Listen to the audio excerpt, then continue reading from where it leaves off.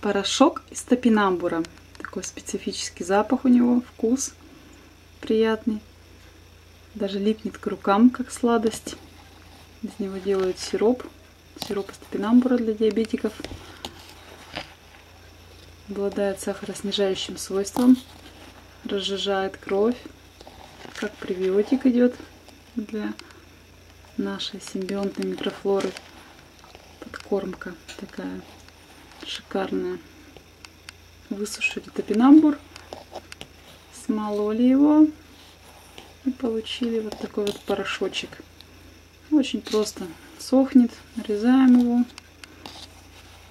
дольки сушим на батарее пару суток или в духовочке при 70 градусах несколько часов, часов 10 ночку, денек смалываем в кофемолочке и получаем вот такой вот волшебный порошочек.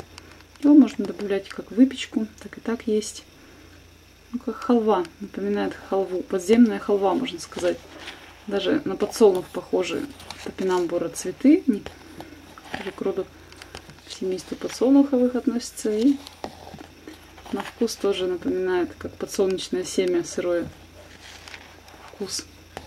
Если с медом смешать, будет халва топинамбуровая. Подземная халва. Вашему вниманию, господа. Вот смешаем с медом. И красота. Можно его употреблять так, как протеиновую добавочку. Ну, прям вот спортивное питание. Делают, например, для спортсменов смесь для вывода мочевой кислоты, соляной, всякой, ну, в общем, плохой кислоты из организма делают смесь топинамбура, корня дивисила и подсолнуха. И отлично выводит соли мочевой кислоты. Средство просто огонь. Инулин. На основе него делают препарат долголет. Вот он, долголет. А мы не замечали. Лучше, чем картошка. Картошка слезняет нас немножко. Топинамбур, наоборот, выщелачивает, очищает.